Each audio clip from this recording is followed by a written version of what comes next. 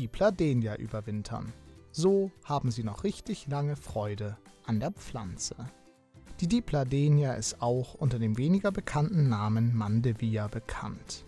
Dahinter verbirgt sich eine prachtvolle, rankende Pflanze, die vom Frühjahr bis Spätsommer eine Vielfalt an farbenfrohen Blüten produziert. Doch ist die Dipladenia überhaupt winterhart? Und wenn ja, wie kann sie richtig überwintern? Wir zeigen Ihnen, welche Ansprüche die Dipladenia an ihren Überwinterungsplatz hat und was dabei beachtet werden muss. Dipladenia. Die Auswahl der richtigen Sorte für den Winter. Da die Dipladenia in den Tropen beheimatet ist, fühlt sich der Blüher im ganzjährig warmen und sonnigen Klima am wohlsten.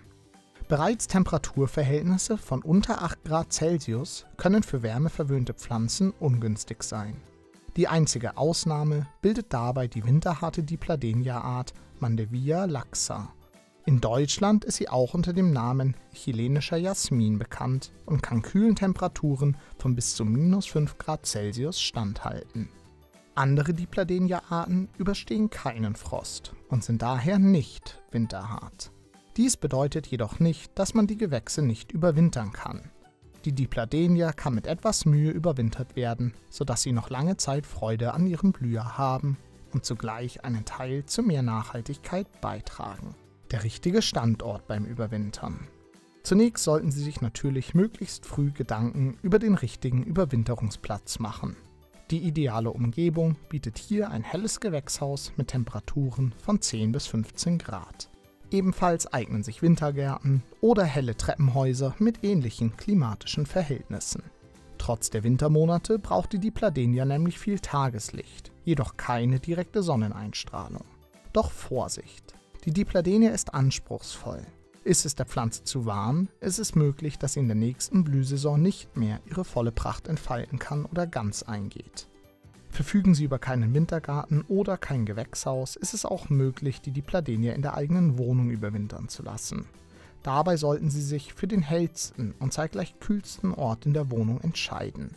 Haben Sie hier überhaupt keine Möglichkeit, ist es auch denkbar, mit einer Pflanzenlampe zu arbeiten, die dem Blüher wertvolles Licht spendet.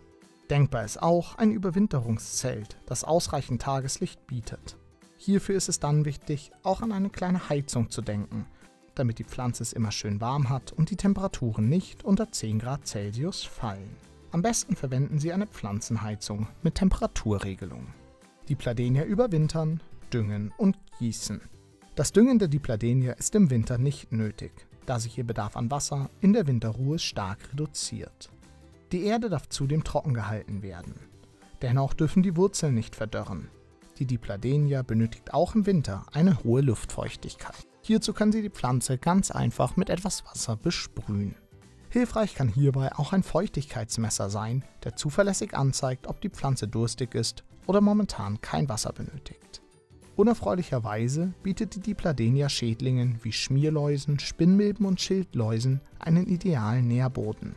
Kontrollieren Sie Ihre Pflanze deshalb auch im Winterquartier, am besten regelmäßig auf einen möglichen Befall. Der richtige Zuschnitt. Die Dipladenia sollte bestmöglichst vor ihrer Ruhe im Winterquartier zurückgeschnitten werden, da die Pflanze ihre Blüten nur an frischen Trieben ausbildet. Dabei ist es notwendig, Handschuhe zu tragen, da beim Schneiden der Pflanze der Milchsaft austreten kann. Der kann zur Hautreizungen führen. Es können sowohl die Seitentriebe als auch die Gesamthöhe zurückgeschnitten werden. Beim Überwintern der Dipladenia kommt es außerdem nicht selten vor, dass das Gewächs seine Blätter abwirft. Im Frühjahr sollten diese wieder nachwachsen. Die Pflanze wird dann neu austreiben. Das Auswintern. Die prachtvolle Pflanze ist eine wahre Diva. Die Dipladenia hat eine niedrige Kältetoleranz, sodass das Überwintern im Idealfall bis mindestens Mai, also nach den Eisheiligen, andauert. Bis zu dieser Jahreszeit kann man immer noch mit Frost rechnen. Im Spätfrühling kann die Pflanze dann wieder an ihren gewohnten Platz.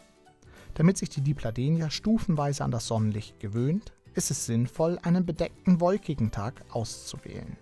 Die direkte Sonneneinstrahlung gleich zu Beginn der Einnahme ihres Sommerquartiers könnte ihr zu stark zusetzen. Ideal ist es, der Dipladenia nach den Überwinterungsmonaten einige Zeit zur Eingewöhnung zuzugestehen. Die Pflanze wird es ihnen danken und sie in den Sommermonaten mit ihrer schönen Blütenpracht entschädigen.